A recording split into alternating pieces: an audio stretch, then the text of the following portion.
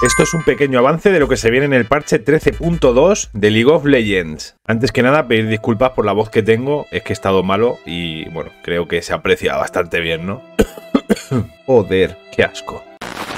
Buff importante a Annie. Ahora Annie empezará la partida con todas las acumulaciones de la pasiva. Eso quiere decir que podrás stunear ya a un campeón enemigo nada más empezar, sin tener que estar cargándola. El coste de maná de la W se reducirá en todos los niveles. Y ahora la E refleja todo tipo de daño, no solo los autoataques como antes. Pero a cambio la velocidad de movimiento que te da irá decayendo poco a poco. El escudo ahora escalará con el AP que tengas. Tibers, que es el oso que tiras con la R, ahora escalará con porcentaje de AP y las resistencias que tiene también. Y la velocidad base de Tibers ahora aumentará. Y ahora vamos con los cambios a la dragona tecnoquímica o dragona Kimtech. La reducción de daño cuando tienes la vida baja ahora cambia de un 10 a un 11%. Lo mismo ocurre con el daño que tú haces a los demás. Aumenta también de un 10 a un 11%. La tenacidad por acumulación pasa de un 5 a un 6%. Y el poder de vida y escudo por acumulación ahora sube también de un 5 a un 6%. También te voy a dar una sorpresa, hay otro cambio que era bastante esperado, y se trata de el cambio más esperado a Zoe.